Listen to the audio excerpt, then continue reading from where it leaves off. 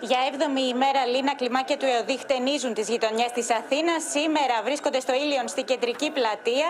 Εδώ που πλήθος κόσμου καταφτάνει από, το νωρί, από νωρίς το πρωί ε, για να μπορέσει να διενεργήσει και να πραγματοποιηθεί το τεστ ε, του κορονοϊού. Βλέπεις εδώ με τη βοήθεια του Νικόλα Μαρκεζίνη πόσος κόσμος βρίσκεται μέχρι και τώρα, ενώ σε λίγη ώρα θα σταματούσαν οι έλεγχοι. Επιτόπου βρέθηκε εδώ και ο πρόεδρος του ΕΟΔΗ, ο Παναγιώτης Αρκουμανέας, ο οποίος μας είπε ότι μέσα σε τρεις ώρες πραγματοποιήθηκαν 400 έλεγχοι και από αυτούς δύο βρέθηκαν ε, θετικοί. Ο Δήμος βρίσκεται στο κόκκινο, όπως γενικά η δυτική Αθήνα, η αλήθεια είναι. Σήμερα είδαμε και αρκετούς γονείς με παιδιά και αυτό γιατί έχουν θορυβηθεί λόγω των αυξημένων κρουσμάτων στα σχολεία του Δήμου. Συγκεκριμένο, ο Δήμος στο Ήλιον έχει κρούσματα σε 7 σχολικές μονάδες.